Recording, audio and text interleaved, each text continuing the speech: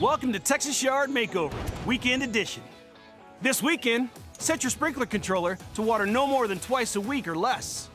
Visit waterisawesome.com and pick a weekend project.